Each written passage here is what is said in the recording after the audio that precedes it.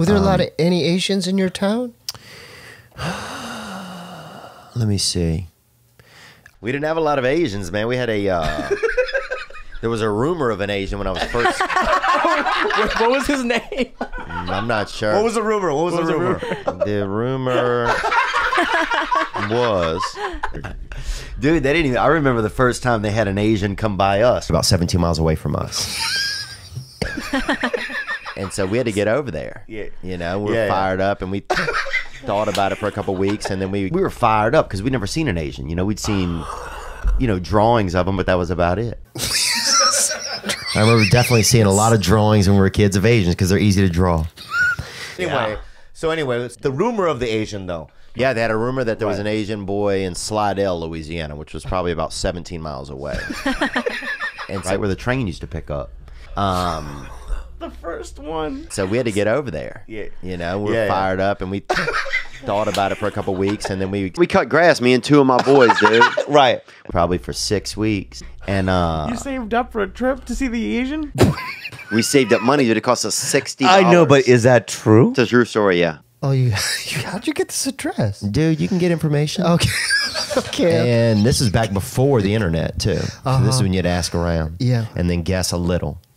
And then we called a taxi over there. Yeah. I want to say the name was Chet. Chet, I think. Right. Does you that never sound? Do you ever see him? Does that sound I, I, possible? no, no, it doesn't it sound plausible because I've never met an Asian guy named Chet. Yeah, there are in Southeast Asia. There you go. And you're Chetmate, bruh. Chetmate.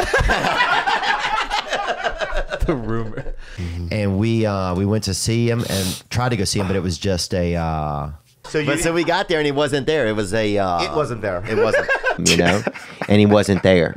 No Asian. We waited there. I remember probably four or five hours, and then we took a taxi back, and that was it, man. There were no Asians at all. It was a. It was just bad intel. Okay. But and you, you never saw him again. well, here's what it was. It was a Pizza Hut had burned down, right? Like the roof, the roof, the interest, the unique roof or whatever on the ground. People thought that that was like an Asian. And the roof. Remember how Pizza Hut had those crazy roofs? Roofs people had never seen before. You know what I'm talking about or not? Yeah, I do. Yeah. because it Pizza Hut had that unique roof. Yeah, yeah, yeah. And that was now on the ground. The building was gone. I don't know. It might have been like a Mexican Jewish guy running it, Oh, that's weird. but it wasn't any. No real Asians. So it's just a myth. So we went back, man. It cost us about seventy dollars. Um, Oh, jeez. Do you feel? And I've always wanted to ask you this: Do you feel Asian? Like, does it feel Asian when you wake up? That's ridiculous. Is it really? Yeah, because I wake up, I don't even think about it. Really? Yeah, this is what the first. I, I think, what time is it?